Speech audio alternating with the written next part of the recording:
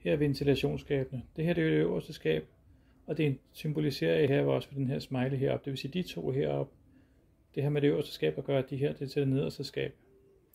Til venstre har vi låsene, til højre har vi udtrykkene, altså dem her. Det man kan se lige nu, det er, at begge skabe er lukket. Det vil sige, at de her to, de lyser begge to.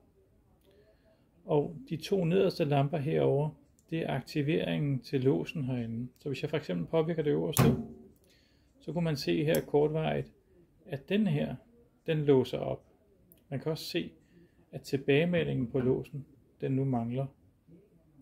I det øjeblik, vi lukker, så vil der komme en blokeringstid på de her 9 sekunder, som den er sat til PT. Den indikeres på de to lamper heroppe. Så det er altså vores timeout, hvor at det aktiverer det relæ heroppe, der så gør, at det lyser rødt. Og modsat herover, der kan vi se, at vores lås der bliver aktiveret. Og nu fik jeg ikke åbnet det, men tilbagemeldingen den forsvandt sig igen med det samme. Og vi har vores timeout herover. Så når jeg åbner hernede, så kan man se, at min tilbagemelding på skabet, den mangler. Når jeg lukker, så begynder vores blokeringstimer. Den har vi her. Vi kan se igen, at skabet det lukker